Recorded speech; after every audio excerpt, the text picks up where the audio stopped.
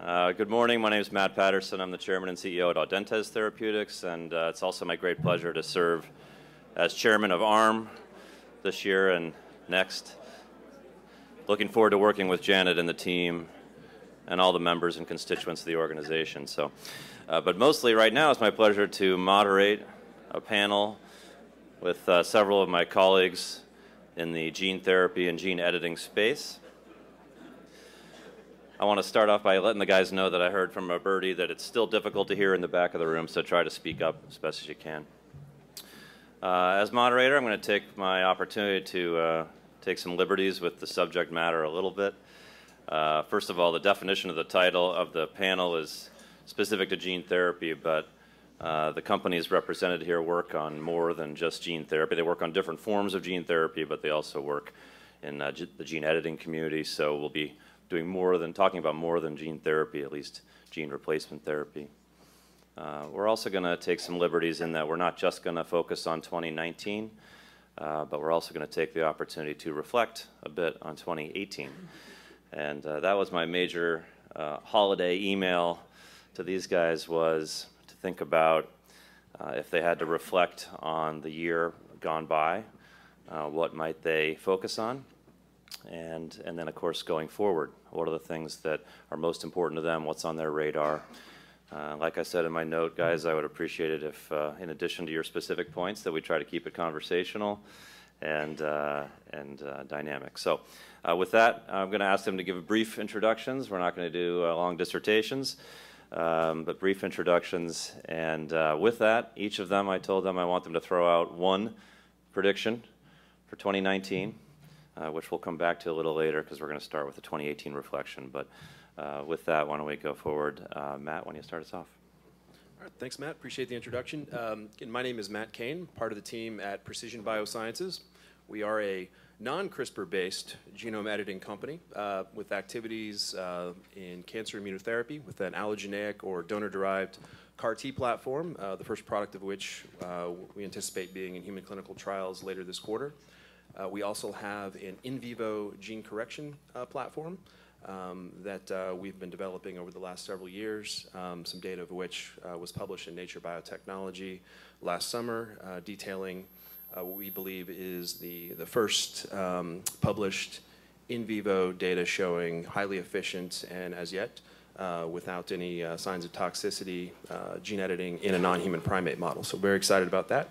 And then finally, to uh, bolster Matt's earlier point, we also have a food editing business that I'm sure all of you are highly interested in today, although we, we are frankly quite bullish around it.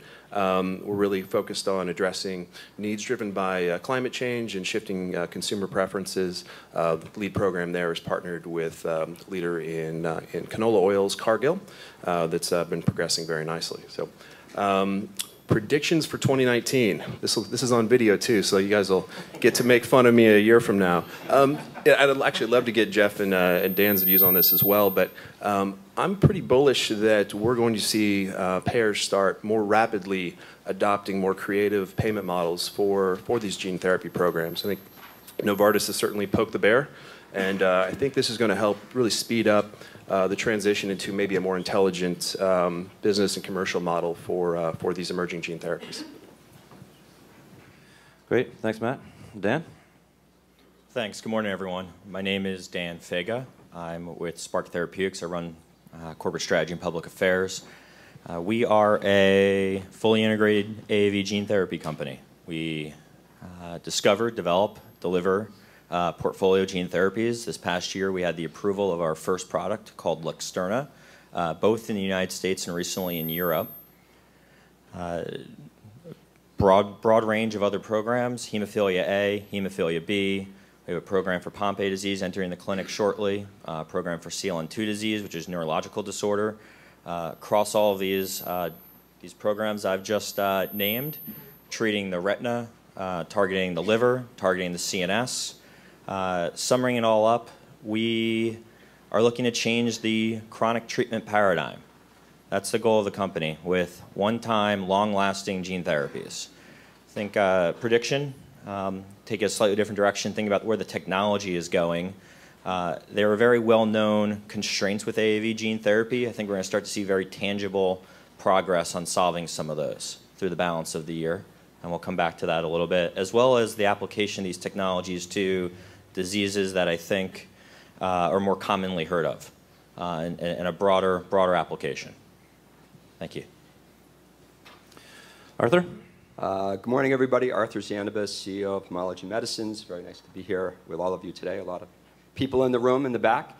Um, Homology Medicines is based on a novel family of AAVs that came out of the City of Hope with a bimodal uh, platform. You can either deliver uh, episomes via the standard gene uh, therapy gene replacement mode, or actually do AAV-based homologous recombination and do gene insertion directly into the genome.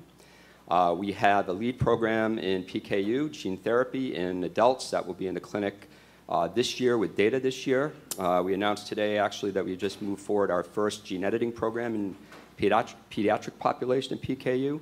And we also announced today that uh, we have moved forward our first CNS gene therapy for metachromatic leukodystrophy. So very exciting year for us ahead. We'll have data in the first lead program uh, later this year. Uh, prediction, my prediction, and you guys can confirm this by email, was that we were going to see a spate of M&A act activity this year. So um, I work for Bluebird Bio, and we're a company that focuses on uh, autologous uh, cell therapy across both oncology uh, in partnership with, uh, with Celgene for our lead product, and also in the severe genetic disease uh, field with some of our programs that are late stage uh, clinical. It was last year at this point at JP Morgan, we got a little bold about our regulatory path forward, and we stated, and, obviously still state, that we should have three um, of the four programs um, at filing or approval by 2022. Um, and, and so it's, uh, it's an exciting time to be here in large part because one of those programs we filed for last year in, in the EU and anticipate, um, assuming uh, the regulatory uh, process goes well in the EU, that we will be launching our first product uh, this year in the EU, and then a subsequent series of, of, launches of both new indications, new markets, and new products in the, in the years to come.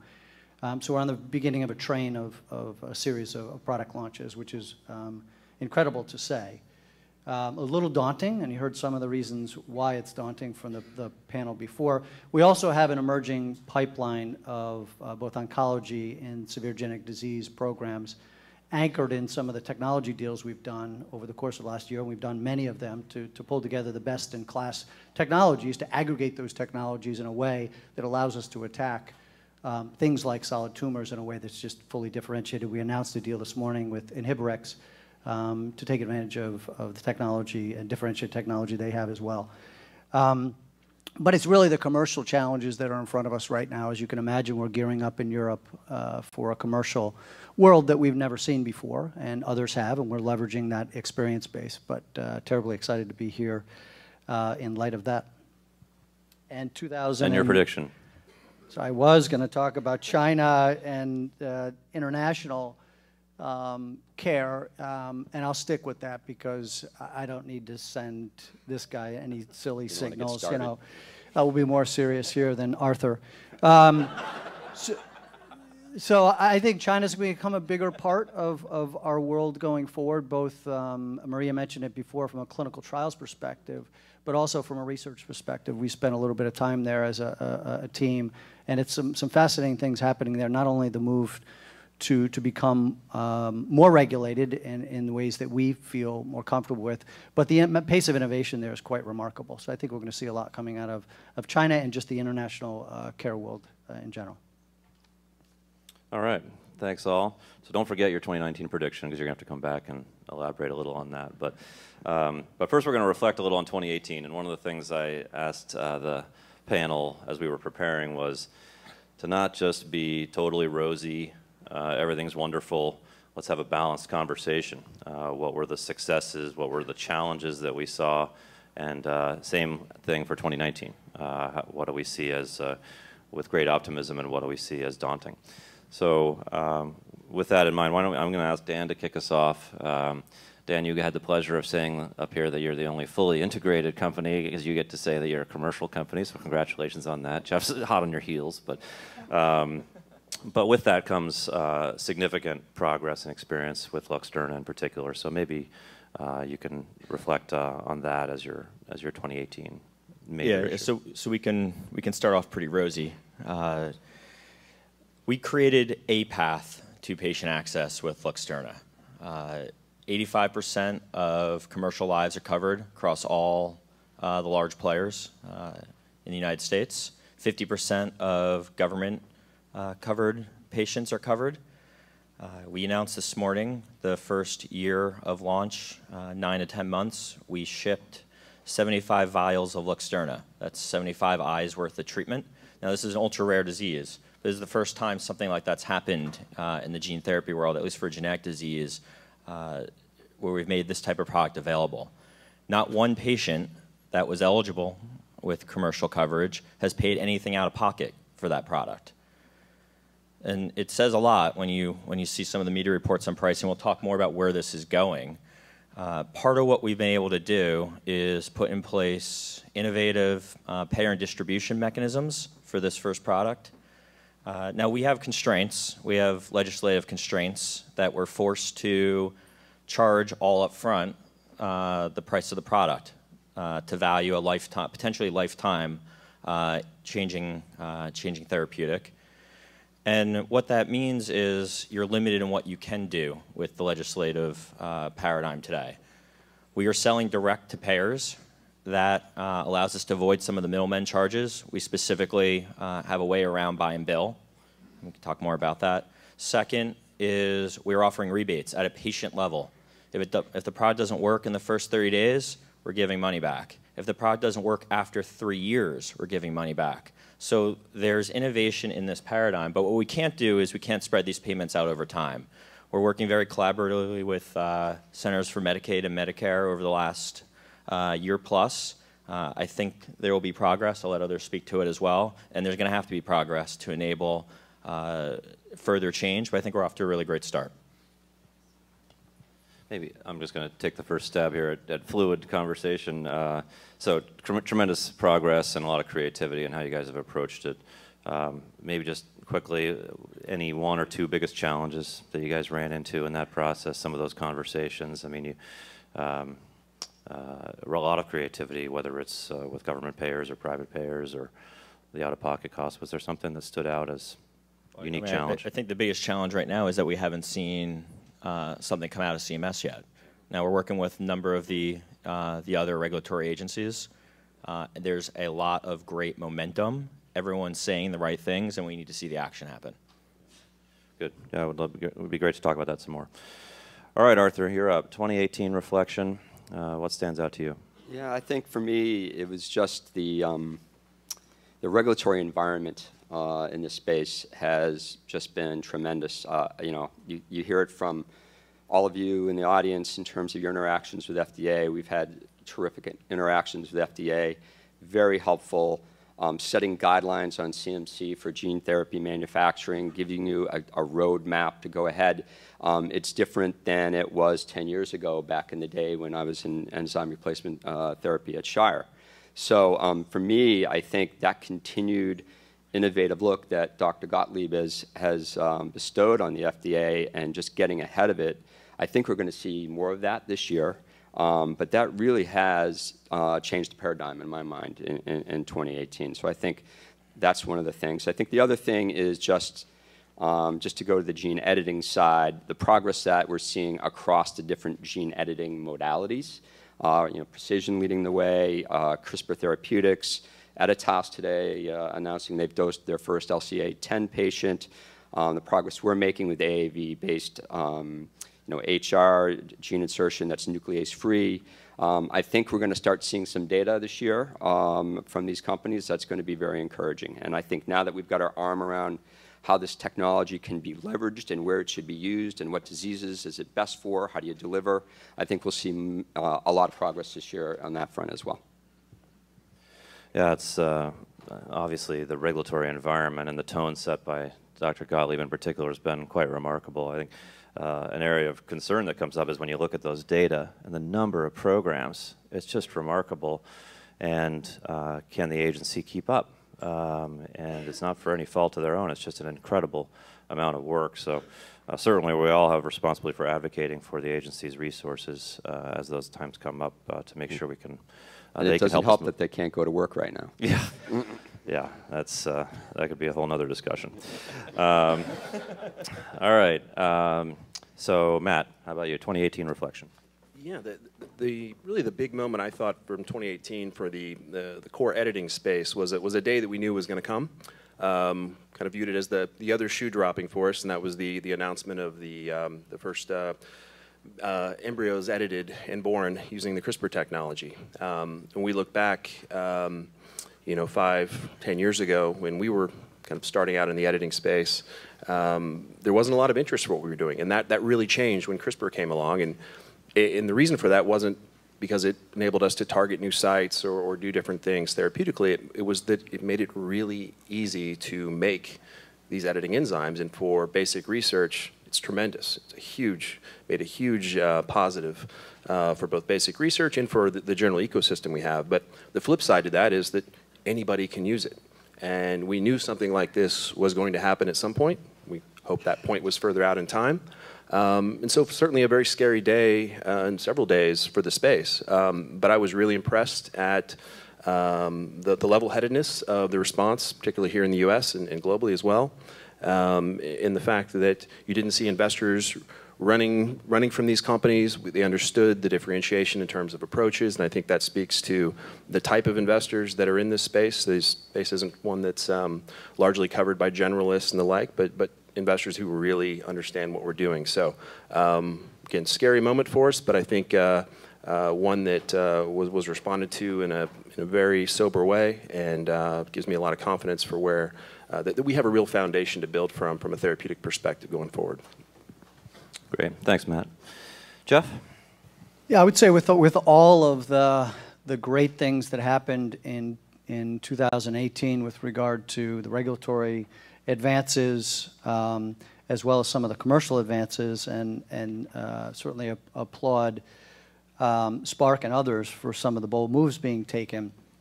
Um, I, I think we're we're um, as an industry weren't quite expecting the amount of bold moves we needed to take to implement um, this transformative and unique um, care paradigm that we're trying to introduce to, to the field. And so the biggest thing for 18 for me was getting out in open, in the open, all of the challenges of how to commercialize a therapy like this.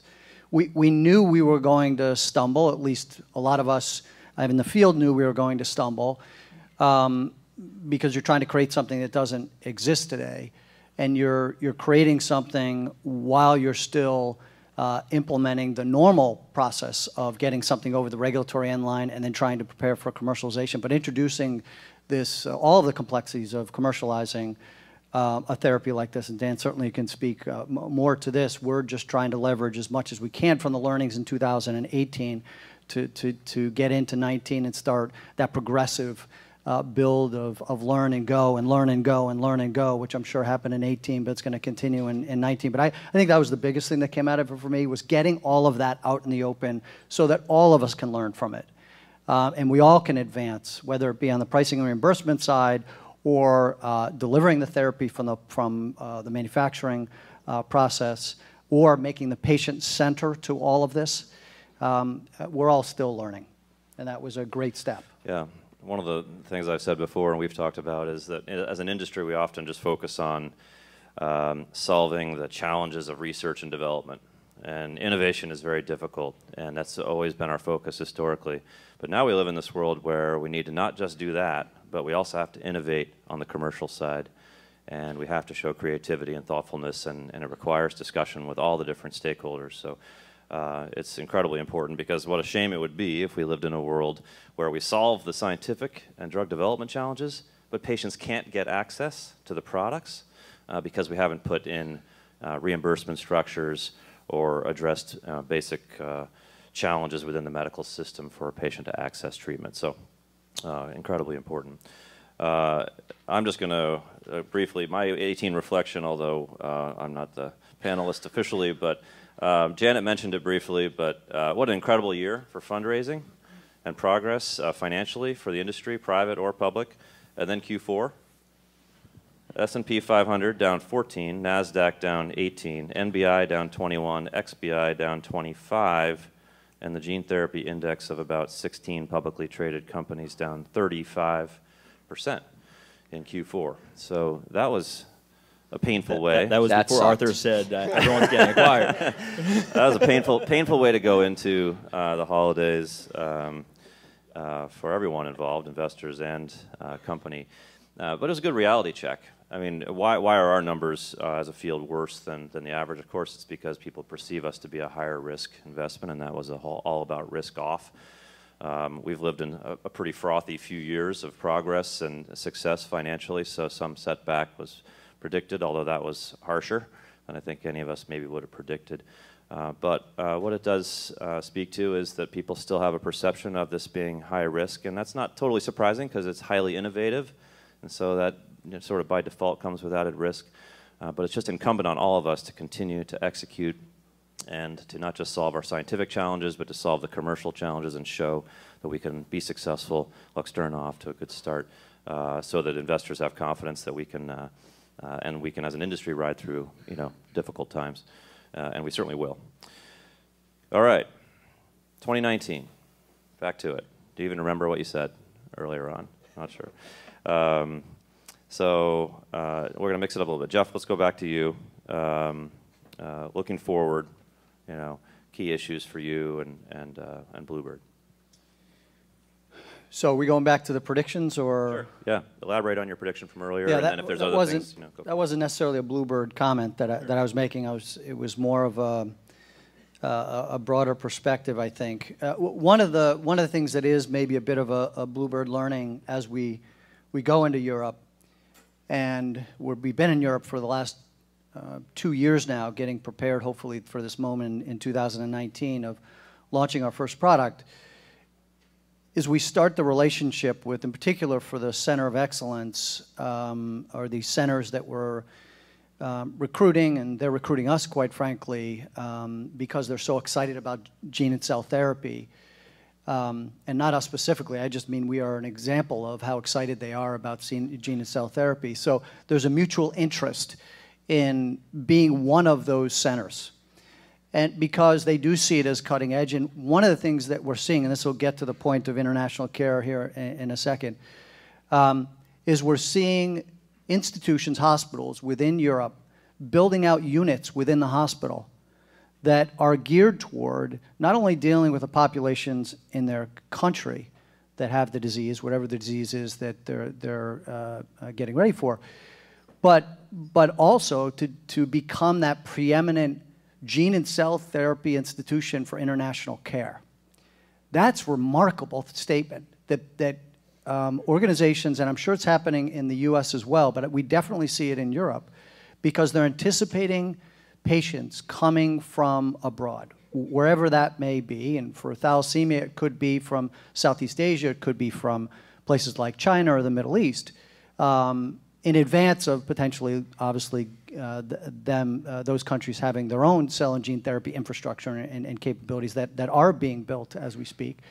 Um, but that speaks to this international care component that we are not, as an industry, yet focused on because we're so focused on trying to get it right in the, in the environments that are front and center to us, and that makes total sense.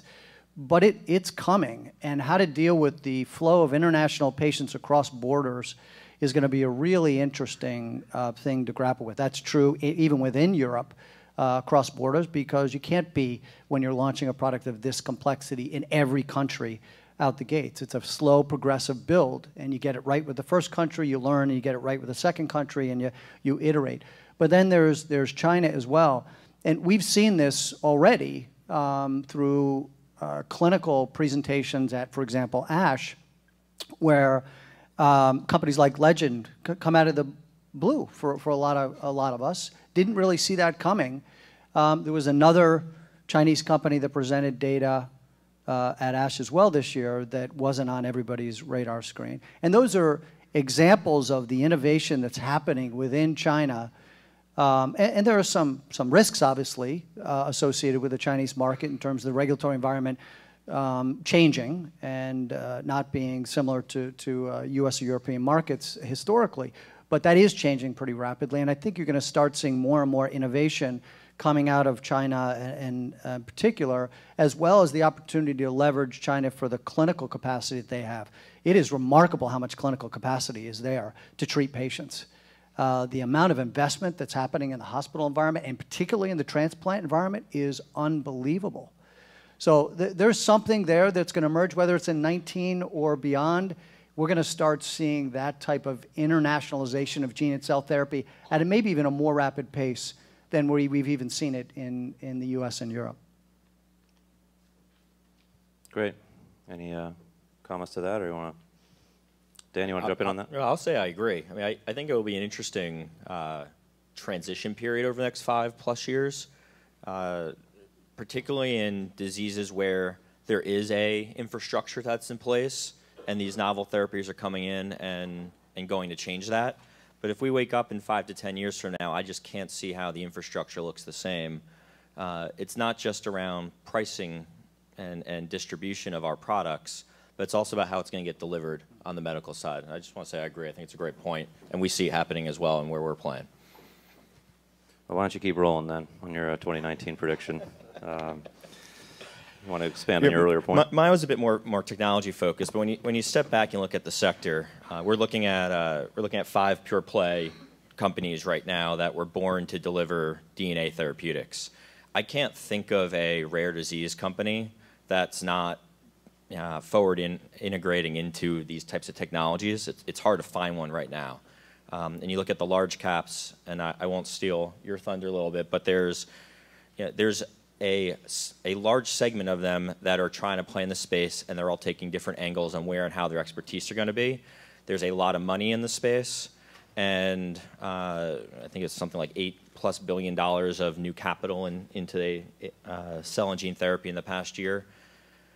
There have been long known challenges with at least AAV technologies uh, around eligibility, uh, particularly the immunogenicity of the capsids, um, the potential for redosing, and we're all spending an exceptional amount of time in these in these areas. Um, the academia landscape is a multiplier of where it was years ago uh, in focus here as well, and we're starting to see, um, I think, tangible progress. And over the course of the year, so this will be the prediction. Maybe it takes a little bit longer. Uh, I, I, think we'll start to see real uh, preclinical evidence to be able to solve these issues. And where this really sums into is we can't all chase the same 20, 30 diseases.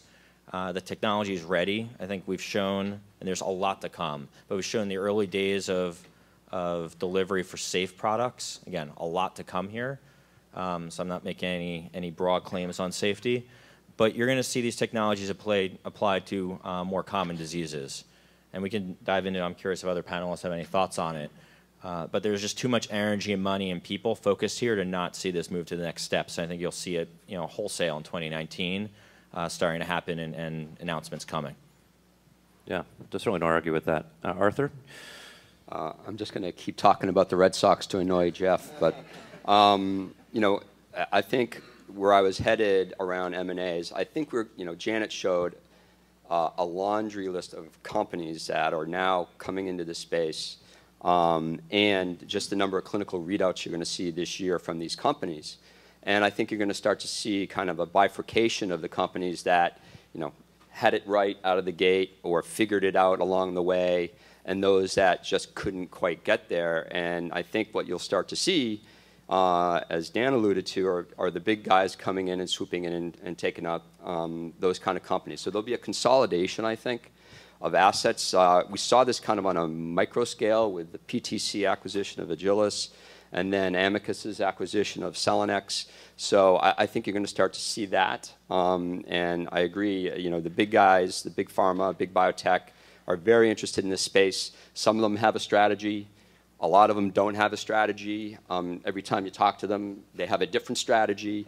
Um, so I think they're trying to figure it out, but I think eventually they will, because I think that you can't look to the future and survive as a company if you're not in this space. It's just it's that simple. This is a transformational kind of science. We're figuring out the science ahead of almost, you know, kind of anything else uh, on the policy side, on the, on the payer side. But I think that kind of progress can't be ignored. So I, I just have a follow-up question. That I, I totally agree that it's hard to figure out the strategies of, of some big pharma. There are some have clearly declared, I'm in, and I want to be a part of it. It's one of my pillars. There are others that are dabbling, and it's hard to figure out the dabbling, how that actually all ties together.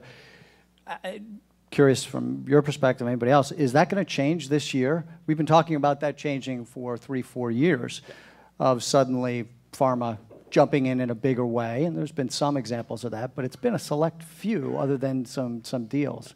I'm just curious on everybody's perspective on that. Uh, my- sense is, at least in 2019, that it's still going to be primarily the few uh, that have done a ton of work and uh, have clearly invested in the space. That's just what feels more likely to me, but uh, happy to hear from others on their perspective. Yeah, I, I would agree on the on the gene therapy, gene correction side. I think in um, cancer immunotherapy, I think there's clear interest uh, in a lot of um, a lot of pressure to to partner with companies like ours. But there certainly seems to be a bit of a wait and see approach. Um, more broadly speaking, uh, with large pharma, though there are a number that have, to Arthur's point, clearly defined a strategy and are looking to execute. Yeah, I'll, I'll add to it as well. It, I think it comes based on where we're all focused. So, great points in, on the oncology side of things. You're seeing more folks playing there uh, in, in novel technologies. In AAV gene therapy, if you're in the hemophilia business, I can't imagine that you're looking at your franchise in 10 or 15 years if you're not in, in gene therapy thinking too highly about what that business looks like. Um, I think it really depends on where and how we're playing to see some of these larger guys move in. I mean, Novartis, we put a, a relationship in place with them. They're selling Luxturna outside the United States. They obviously bought a, uh, Avexis this past year. Um, Pfizer's had huge investments in, in manufacturing. They have a, uh, an early portfolio, and they're working with us in hemophilia B. Uh, th- that's what we've seen. It's this step in. I think there's a few players, like Arthur said, that are uh, that are there and there to stay. And I think we'll we'll see how it all evolves. But I'm not sure we're threatening every large cap pharma's spaces yet. And until that happens, I, I think the consolidation's on hold. Matt, 2019? So we talked about my, my uh, payer prediction, which uh, again, I'll pay for that one. Um, so maybe I'll we'll switch gears a little bit. Uh, I think um, one of the things we'll also see in in the uh, the broader gene therapy space, and also maybe for me more importantly in the gene editing space, um, is a lot more clarity around wh- where where could we go, where's the potential for the space versus where are we now. And I- think that's going to um, both help to shape the identities of these companies. Um, it's going to create more clarity for potential partners around when does it make more sense to use a lenti-based approach, AAV, uh, or pure editing nucleases. Um, and then it'll also enable us to have more clarity around where we need to set our research priorities. So um, I think there is going to be some fallout. I think there'll be some stumbles uh, this year from, in particular, some of the gene editing companies um, whose strategies maybe are, are a little bit ahead of, of where we are today. Um, but I think on the whole it'll be a positive because we'll have a lot more clarity around what is tangible, what is possible today, where can we make a real impact for patients today, and focus those nearer, nearer term efforts there um, before we get out ahead of our skis. Yeah, uh, I just want to go back, Arthur, to one of the things you said. In addition to large pharma interest in the space, you mentioned that you thought there um, may be companies that thrive and others that, that don't as much. Um, I think that's something that's on my mind as well. You know, it's been wonderful to see the degree of enthusiasm in the space and the amount of investment, but I think when you look at a, the, the vast, a lot of the programs out there, you see, well, that's a tough scientific target, or that's going to be really tough clinical endpoints, or manufacturing is really challenging. So um, it sounds like that was what you're, the point you're trying to make. I mean, is that in a field where I think we are all very optimistic, you're going to have mostly positive news. I also expect there'll be setbacks. That's okay. I mean, that's innovation, but I think it's in part due to this onslaught of interest in the space and what targets people are going after and, and the challenges associated with that. Was that what you were getting at also? Yeah, no, that's exactly what I was getting at. And I think, um, look, you know, we've, we've talked about it, uh, you know, amongst us that, you know, not everybody's going to win and and it's a hard thing to do to get something all the way from the bench all the way uh, to patients. So. Um, I think there'll be those opportunities there to, um, you know, to look at programs that you give them another shot, or you take a different approach, or you, um, you know, partner with somebody else. I think I think there'll be those kind of opportunities in 2019. I'm going to go back to the commercial conversation for one second, and uh, it's a little bit of a U.S.-heavy conversation, so sorry for our international friends in the audience, but um, the conversation, and Dan, you uh, talked about it quite a bit, but each of you talked a little bit. Uh, it's going to be an incredibly active year, I think, in the conversation of drug pricing. I think that's not not going on a very big, very long limb to say that at least in Washington D.C., drug pricing will be an important part of the conversation. But um, when it comes to that, I think uh, hopefully we'll find ourselves in a position where we're able to distinguish the innovation and importance of the type of work we do from um, other issues in our industry that certainly need solving. Um, but when it comes to specific, these often one-time therapy treatments and the system that we think we need to optimize patient access, which to me means the opportunity to do payment over time. Doesn't mean it has to be the right fit for everyone necessarily, but uh, we don't structurally have the opportunity to do that today in the United States. There's people that advocate for working CMS as a key driver in that conversation, and so that's sort of a regulatory path. Can we work with CMS to achieve goals there and, and put in payment over time structures for, for programs that make sense? And, uh, and can we also consider legislation? Because I think most people in the field feel that eventually you're going to need some sort of legislative solution to truly enable CMS in particular to uh, implement uh, good payment over time structures. So, uh, does anyone have any additional thoughts we can share on that, or, or, predictions, I guess, for the year? I mean, from my perspective, and we know it's not it's not confidential knowledge. There's a bill that's being potentially introduced in Washington, sponsored by Ca Senators Cassidy and uh, Warner, that touches on these issues, but but also seems to go a bit more broad, and, and I fear will be more about the rhetoric of drug pricing in Washington than about our field specifically. But so it's going to be in the news flow. Um, I don't know, uh, Dan in particular. You've lived it more than than the rest of us recently. But um, any thoughts on that? Any predictions, uh, or for many of you, for that matter?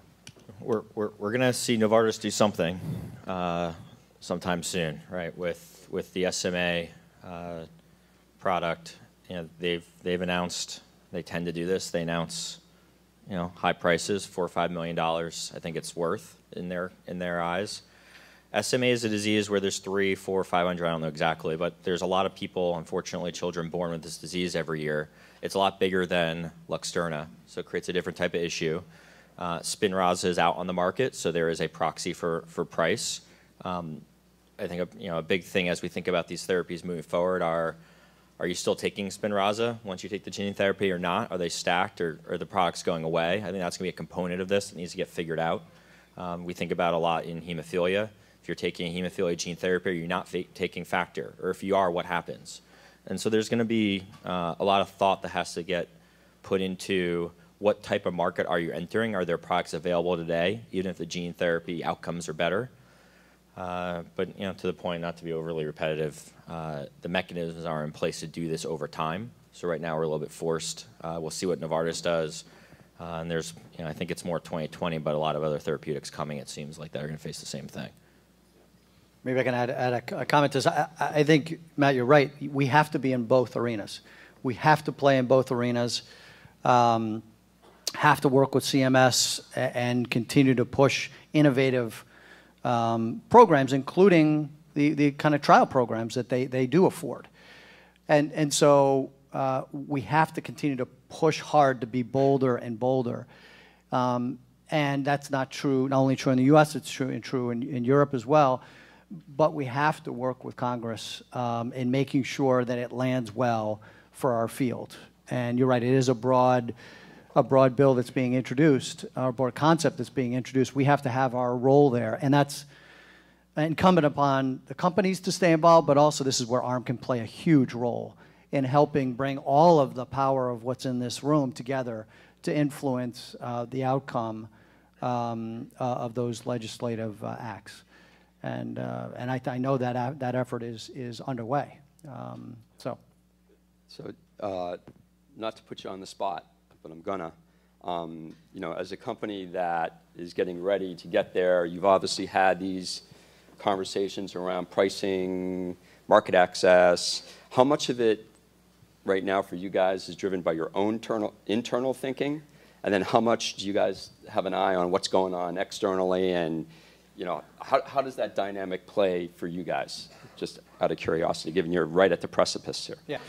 The, the, um, you have to play both. So you, you obviously, every company has their own self-interest, their own strategies that, that are uh, imperative to implement for your specific circumstance. So um, we've got our fair share of internal policy people and, and contractors uh, around the U.S. and, and in Europe, for sure.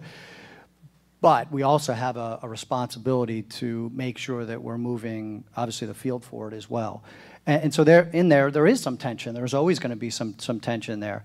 And trying to find that right balance is, I think, I think the key. And, and you certainly have experienced it yourself, and we're all thinking about it. Matt, I know you're thinking about that, uh, that too. So it's, it's, it's, it's hard.